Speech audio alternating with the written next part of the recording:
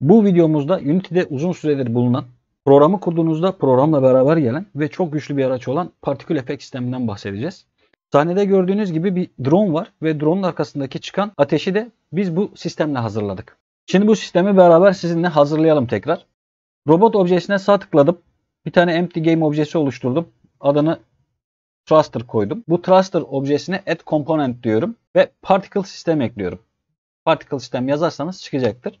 Particle sistemi ekledim ve sahneme göreceğimiz gibi particle sistem geldi ve pembe resimler ortalıkta uçuşuyorlar. Aynı şekilde şu sağ taraftan da bir dikkatinizi çeken bir menü geldi. Bu menüdeki bütün özelliklere tıklarsanız bu özelliklerin hepsi açılıp kapanır şekildeler. Şimdi başlayalım.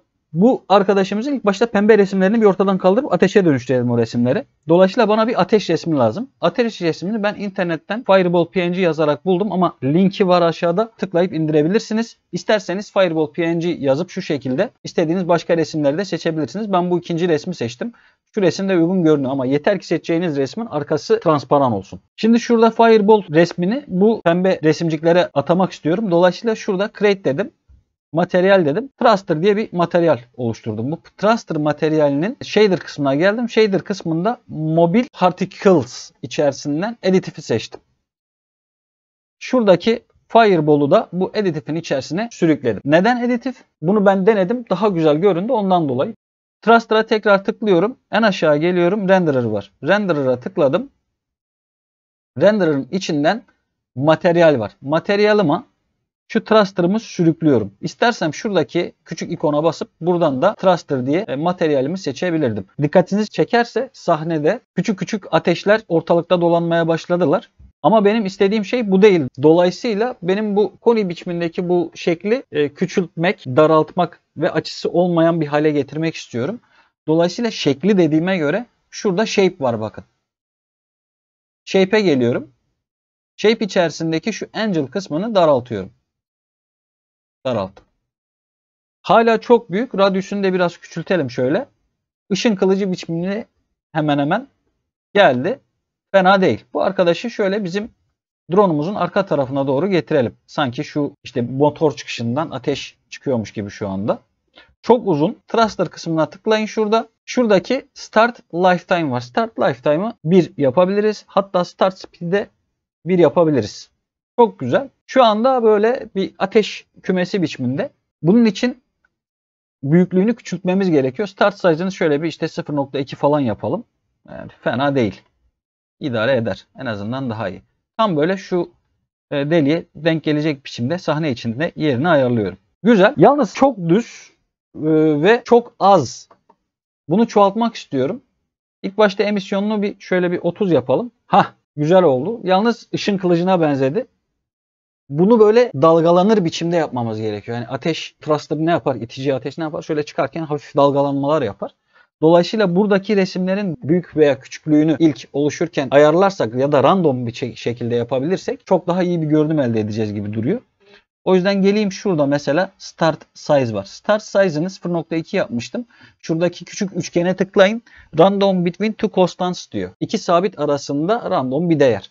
Tıklıyorum. İki sabitim geldi. Bunun arasında random bir değer olacak. Birincisine mesela 0.2 yazdım. İkincisine ne yazalım? Diyelim ki 0.5 olsun. 0.2 ile 0.5 arasında random bir değer oldu. Görüyor musunuz nasıl? Biraz daha böyle artık ateşe benzedi. Şu bitiş kısmında partiküllerin bittiği kısımda bir aniden kaybolma görüyorum. Bu kaybolmayı da almak için mesela tam bitişine yakın aniden kaybolmasa da rengi transparan olarak kaybolsa sanki kendiliğinden yok oluyormuş hissiyatı verecek. Burada Color Over Lifetime var. Color Over Lifetime'a tıklayın ve e, bir tane renk çubuğu göreceksiniz. Renk çubuğuna da tıkladığınızda bir pencere açılacak. Bu pencerenin üzerinde çeşitli oklar var. Bu oklardan üsttekiler transparanlığı ifade ediyor. Alttakiler rengin kendisini ifade ediyorlar. Şuradaki oka tıklayıp alfasını aşağıya doğru çekerseniz göreceksiniz ki şurada sahnede artık ateş sanki kendiliğinden yok oluyormuş hissiyatı veriyor. Bunu işte daha da ileri çekebilirsiniz. Şu şekil küçültebilirsiniz. Şey var ama bu değer şu an fena değil gibi duruyor. Evet biraz daha iyi oldu gibi. Yalnız çıkış motorun tam içinden çıkıyor ama böyle hani e, robotun kendisine de çarpıyor. Tam içinden böyle çıkmıyormuş gibi yani tam böyle o, o motorun çıkış noktasından almıyormuş. Böyle oradan çıkarken biraz daha küçük çıkması gerekiyor da sonradan büyüyormuş gibi olması lazım. Dolayısıyla burada size over lifetime var. Size over lifetime'a tıklıyorum tik işaretine ve açıyorum. Zaten tıkladığım anda şu şey şu hissiyatı verdi. Ee, aşağıda şurada size var. Size'ına tıkladığınızda aşağıda şu particle system curse açıldı. Bu curve şunu işaretleyebilirsiniz. Şu arkadaşımızı işaretleyebilirsiniz. Şu kırmızı ile oynayabilirsiniz şu şekilde. Şununla oynayın. Hangisi neresi hoşunuza gidiyorsa. Şuraya çift tıklayıp bir nokta daha atabilirsiniz. Bu şekilde kendinize göre ayar yapın. Yerini de tam ayarlayın. Yukarı aşağı şöyle. Fena görünmedi. Şu an çok daha iyi oldu. Şimdi son bir ayarımız var. Renderer'a gelin. Şu anda bu küçük küçük çıkan resimlerin hepsi ekranımıza dik bir şekilde geliyor. Genelde kullanıcının içinden geçeceği şu şekildeki partikülleri billboard render modunda ayarlayabilirsiniz. Ama kullanıcının uzaktan göreceği partikül efektleri stretch billboard yaparsanız çok daha e, gerçekçi görünüyor. Ben bunu stretch billboard yaptım. Hatta şöyle yapalım biraz da öne çekelim şu şekilde. Hah. Çok daha güzel göründü. Şöyle bir play diyelim. Sahneye gelelim. Evet çok da fena olmadı. Siz ayarlarıyla istediğiniz gibi oynayın. Ee, örneğin burada işte e, size'ıyla daha şekil oynayabilirsiniz. Başlangıcını küçültebilirsiniz falan. Hani biraz daha gerçekçi bir görünüm verir şey var. Şuradaki başlangıç boyutunu bitiş boyutuna yaklaştırabilirsiniz. Mesela 0.4, 0.5 veya 0. işte 2 ile 0.5 e, değil de 0.4 yapabilirsiniz. Çok daha evet şu an çok daha iyi oldu. E, ayarlarla istediğiniz gibi oynayın. Şurada işte color by speed var, e, size by speed var. Şu an cisim hareket etmediği için bunları kullanmanıza gerek yok. Rotation verebilirsiniz, e, dönüş verebilirsiniz. Belli bir gürültü verebilirsiniz, belli bir noise verebilirsiniz. Bakın görüyor musunuz? Şu şekilde. Bu noise'u buradan ayarlayabilirsiniz. Bunların içine girin. Bunlarla oynayın.